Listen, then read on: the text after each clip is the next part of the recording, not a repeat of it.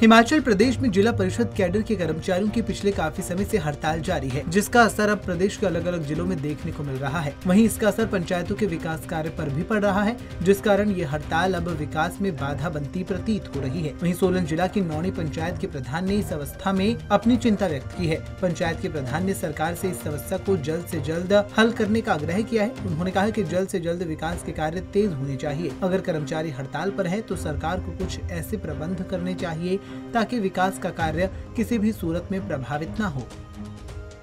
जिला परिषद कैडर के हड़ताल पर जाने से न केवल नौनी पंचायत बल्कि पूरी हिमाचल की पंचायतें प्रभावित हो रही है।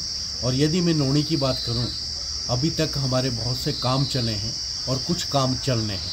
लेकिन उसके लिए वर्क ऑर्डर और जिस तरह जो भी उसकी फॉर्मेलिटी है, वो पूरी तभी होगी जब सेक्रेटरी जेई हमारे साथ होंगे। लेकिन गत लगभग 20 दिनों से ये हड़ताल चल रही है।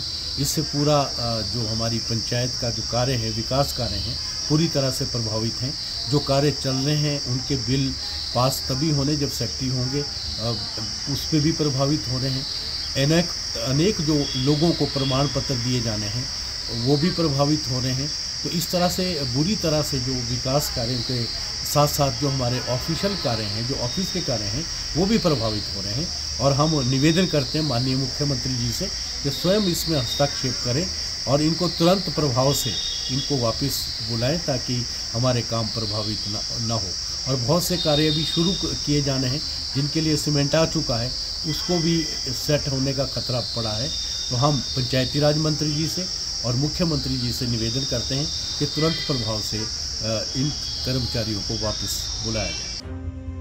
गौर हो कि जिला परिषद कैडर कर्मचारियों की हड़ताल के चलते पंचायत के सभी विकास कार्य पूरी तरह से थम चुके हैं। पुराने कार्यों का निरीक्षण नहीं हो पा रहा है। नए कार्यों की डीपीआर नहीं बन पा रही है। जो सीमेंट निर्माण कार्यों के लिए आया हुआ है, अगर समय रहते उसे भी इस्तेमाल नहीं किया गया तो वह भी सेट हो जाएगा। इसलिए पंचायत के प्रधान ने मांग की है की जल्द ऐसी जल्द सरकार जिला परिषद के कर्मचारियों की चल रही हड़ताल आरोप कोई निर्णय ले, ताकि फिर ऐसी विकास के कार्य शुरू हो सके। पंजाब के टीवी के लिए सोलन ऐसी कीर्ति कौशल की रिपोर्ट।